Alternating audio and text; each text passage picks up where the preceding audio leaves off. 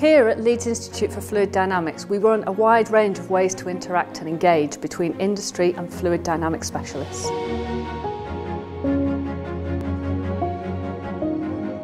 Fluid dynamics is a major UK research and innovation strength and it is critical to many application areas and sectors. It is enabling technology for many industry sectors such as marine, aerospace, oil and gas, as well as societal applications like healthcare, weather, clean energy and air quality. From events to consultancy, knowledge transfer partnerships to project sponsorship. We bring together understanding of fundamental flow regimes fluid properties and simulation approaches to tackle challenges in multiple industry sectors. I love watching fluids move. It really is a blessing to be an experimentalist in the field of fluid mechanics. I think the best scenarios for engagement that have come from conferences and gatherings happening when the industry was coming in and reporting some of the current issues that they have and they cannot find a solution for.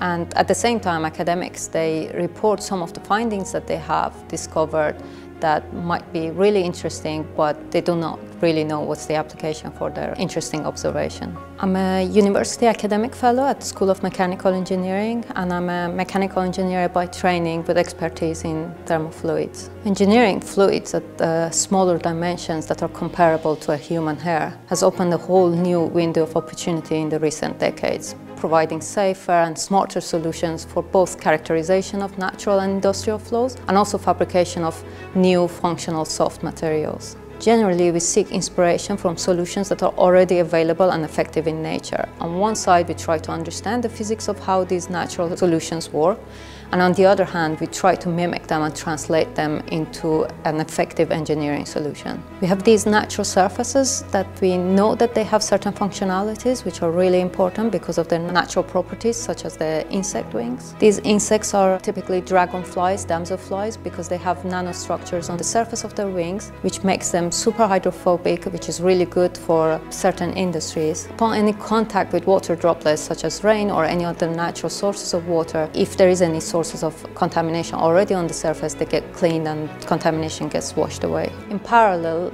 we also work on developing new fluid-based techniques to replicate these natural surfaces at lower cost and lower energy consumption for antimicrobial surfaces. So in general, we want to create surfaces that are in the first place, don't get contaminated as much as normal surfaces, but also they can be accessed with easier solutions to clean. Kinds of flows to detach and clean surfaces. So I do lots of research on cleaning, either by adding different kinds of surfactants or detergents, just by using no chemicals and physically changing the fluid to clean surfaces. All the fields of biofouling would be a problem that this can be in food industry, it can be continuous fouling in the pipe or in the processing units. There are also biomedical applications of these kind of uh, surfaces, which are, for example, single-use medical devices that you want to make them antimicrobial, and uh, we are mostly concerned with the bacterial infections. I'm Ahilan, I'm Chief Energy Transition Officer at Aqualis Braemar LOC. One of the things that I think uh, it's uh, crucial is that those who are practicing these pioneering work in uh, offshore wind energy are somehow connected up with the thinking that is going on uh, at universities and academia in order to make sure that we are constantly assessing properly what the limits of our technology are and what the opportunities in the technology are. One of the major sources of the change in the energy sector uh, comes from being able to produce uh, economic scale offshore wind energy. A 20% error in the wind speed can cause 70 to 80% reduction in the energy that we produce.